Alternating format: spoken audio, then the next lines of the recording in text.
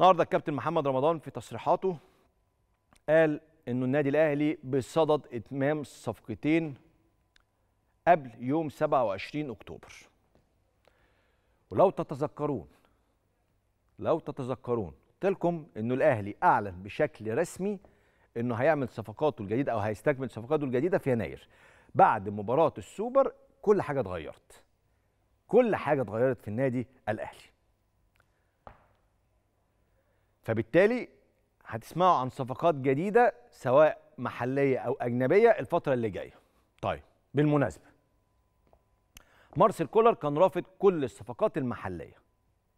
النادي الأهلي ولجنة التخطيط والكابتن محمد رمضان قالوا لا هيبقى في صفقات محلية وهيبقى في أجانب وقبل يناير والأهلي محتاج صفقات. طيب إيه الأسماء المطروحة؟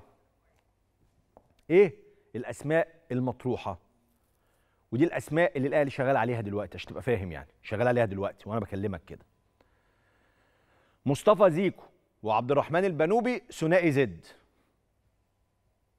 مصطفى زيكو وعبد الرحمن البنوبي ثنائي زد. وقفة مهاجم إنبي. ويجي بعديه أسامة فيصل مهاجم البنك الأهلي. مارسيل كولر كمان تلقى قائمة ببعض اللاعبين الأجانب في مركزي المهاجم الصريح والجناح من خلال الكابتن محمد رمضان. كولر طلب مزيد من الوقت لرسم موقفه من الأسماء المعروضة قدامه عشان يدرس بشكل كويس. طيب. بالمناسبة بالمناسبة بالنسبة للأجانب في لاعب أجنبي مطروح على النادي الأهلي بيلعب في الدوري الصيني.